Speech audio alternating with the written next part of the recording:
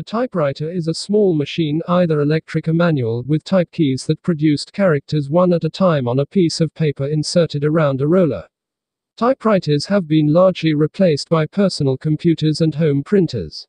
Now let's see who invented typewriter.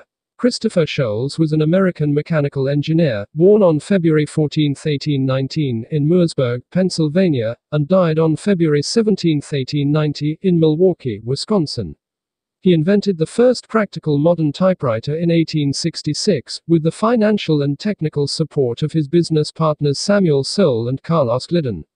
Five years, dozens of experiments, and two patents later, Sholes and his associates produced an improved model similar to today's typewriters.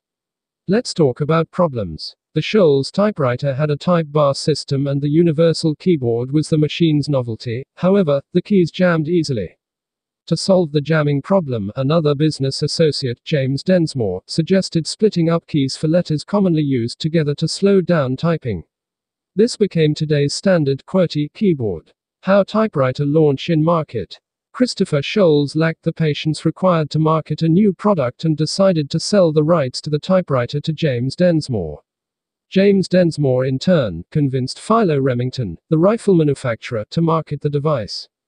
The first Sholes and Glidden typewriter was offered for sale in 1874 but was not an instant success.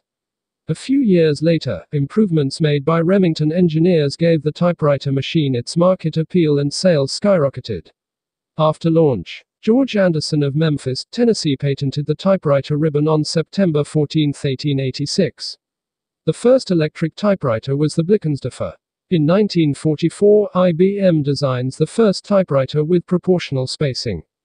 Pellegrin Turri made an early typewriter that worked in 1801 and invented carbon paper in 1808.